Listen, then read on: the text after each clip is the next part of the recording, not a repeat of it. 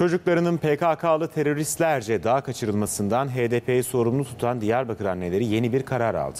Aileler eylemlerini 24 saat sürdürme kararı aldı ve gece nöbetine başladı.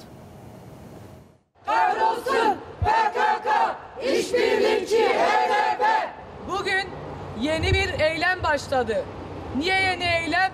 Artık gece nöbetlerimiz başladı.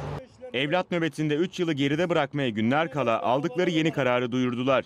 Kararlı bekleyişleri artık 24 saat sürecek. Diyarbakır anneleri evlatlarını teröre kurban vermemek için duruşlarından taviz vermiyor. Oturma eylemleri gece de sürecek. Eylemlerine devam eden 233 ailenin bir de isteği var. 3 Eylül 2021'de sabah saat 10 civarlarında burada herkes PKK'ya yeter artık edi beste demek istiyorsa yanımıza gelsin bize destek versinler.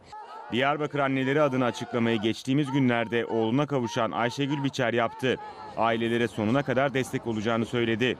PKK bitinceye kadar, HDP yıkılıncaya kadar ben Ayşegül Biçer olarak buradayım. Biz hepimiz kardeşiz. Kimse bizi bölemeyecek.